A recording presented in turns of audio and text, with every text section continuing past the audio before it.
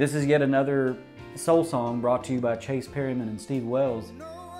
I don't know why, growing up a white guy in Tennessee, that I could write these types of songs in my sleep. This is a, a song that you could easily hear, you know, in the 60s, right after a Temptation song or a Benny King song. For you ballroom dancers out there, it's a uh, very good rumba. That's not a vacuum cleaner. Well, it is, but in this situation, it's, it's a dance move. And it's slow, quick, quick, slow, quick, quick, slow. If you want to try to, here, I'll, I'll show you the, the moves. It's